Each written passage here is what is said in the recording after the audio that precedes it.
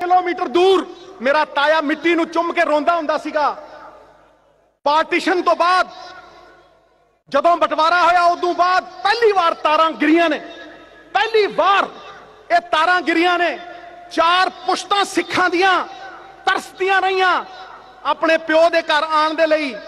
ਇਹ ਸਿੱਖਾਂ ਦੇ 14 ਕਰੋੜ ਸਿੱਖਾਂ ਦੇ ਅਹਿਸਾਨ ਦਾ ਇੱਕੋ ਹੀ ਕਾਰਨ ਹੈ, ਇਮਰਾਨ ਖਾਨ ਤੇ ਹਿੰਦੁਸਤਾਨ ਦੇ ਵਿੱਚ ਦੋ ਹੱਥ ਨਾਲ ਤਾੜੀ ਵਜਾਈ। ਨਰਿੰਦਰ ਮੋਦੀ ਨੇ ਸਰਕਾਰਾਂ ਲੋਕਾਂ ਦੀਆਂ ਲੋਕਾਂ ਦੇ ਵਾਸਤੇ, ਪਰ ਪਹਿਲੀ ਵਾਰ ਕਿਸੇ ਸਰਕਾਰ ਨੇ 14 ਕਰੋੜ ਸਿੱਖਾਂ ਨੂੰ ਤਾਰ ਦਿੱਤਾ। ਉਹ ਸਿਕੰਦਰ ਨੇ ਸਿਕੰਦਰ ਨੇ ਡਰਾ ਕੇ ਦੁਨੀਆ ਜਿੱਤੀ ਸੀ। ਸਿਕੰਦਰ ਨੇ ਖੌਫ ਨਾਲ ਦੁਨੀਆ ਜਿੱਤੀ ਸੀ।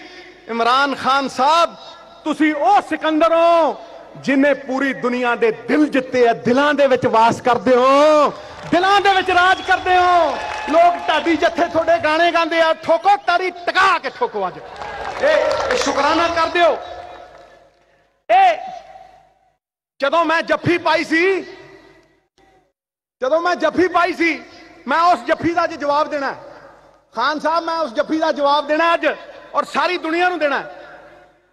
ਜੋ ਨਫ਼ਰਤ ਦੇ ਪੁਜਾਰੀ ਨੇ, ਜੋ ਨਫ਼ਰਤ ਦੇ ਵਪਾਰੀ ਨੇ, ਜੋ ਨਫ਼ਰਤ ਦੇ ਖਿਡਾਰੀ ਨੇ ਇਹ ਕਿਸ ਮੁਰਸ਼ਦ ਦੇ ਚੇਲੇ ਨੇ ਇਹ ਸਿੱਖ ਨੇ ਕਿਹੜੇ ਸਤਿਗੁਰੂ ਦੇ ਇਹ ਕਿਸ ਅੱਲਾ ਦੇ ਬੰਦੇ ਨੇ ਉਹ ਮੇਰੀ ਫਿਤਰਤ ਮੁਹੱਬਤ ਹੈ ਮੇਰੀ ਆਦਤ ਮੁਹੱਬਤ ਹੈ ਮੇਰੀ ਸਿਆਸਤ ਮੁਹੱਬਤ ਹੈ ਗੁਰੂ ਨਾਨਕ ਦਾ ਸਿੱਖ ਹਾਂ ਮੈਂ ਤੇ ਸ਼ੇਖ ਫਰੀਦ ਦਾ ਚੇਲਾ ਮੇਰੀ ਖਸਲਤ ਮੁਹੱਬਤ ਹੈ ਮੇਰੀ ਕੁਦਰਤ ਮੁਹੱਬਤ ਹੈ ਮੇਰਾ ਮਾਰਗ ਮੁਹੱਬਤ ਹੈ ਮੇਰਾ ਰਸਤਾ ਮੁਹੱਬਤ ਹੈ ਮੇਰਾ ਪੈਂਡਾ ਮੁਹੱਬਤ ਹੈ ਮੇਰਾ ਲੰਗਾ ਮੁਹੱਬਤ ਹੈ ਤੇ ਮੇਰੀ ਜੱਫੀ ਵੀ ਮੁਹੱਬਤ ਹੈ ਮੇਰੀ ਜੱਫੀ ਵੀ ਮੁਹੱਬਤ ਹੈ ਓਏ ਇੱਕ ਓਏ ਇੱਕ ਜੱਫੀ ਓਏ ਇੱਕ ਜੱਫੀ ਜੇ ਲਾਂਘਾ ਖੋਲੇ ਤੇ ਦੂਜੀ ਜੱਫੀ ਪਾਈਏ ਤੀਜੀ ਚੌਥੀ ਪੰਜਵੀਂ ਛੇਵੀਂ ਸੌਵੀਂ ਜੱਫੀ ਪਾਈਏ ਉਹ ਜੱਫੀ ਜੱਫੀ ਕਰਕੇ ਯਾਰੋ ਸਭ ਮਸਲੇ ਸੁਲਝਾਈਏ ਐਵੇਂ ਹੀ ਕਿਉਂ ਪੁੱਤ ਮਾਵਾਂ ਦੇ ਆਪਾਂ ਹੱਦਾਂ ਤੇ ਮਰਵਾਈਏ ਆਪਾਂ ਹੱਦਾਂ ਤੇ ਮਰਵਾਈਏ ਟਕਾ ਕੇ ਠੋਕੋ ਜਦ ਠੋਕ ਕੇ ਕਹਿੰਦਾ मजीद खबरों और अपडेट्स के लिए विजिट कीजिए sky news.com.pk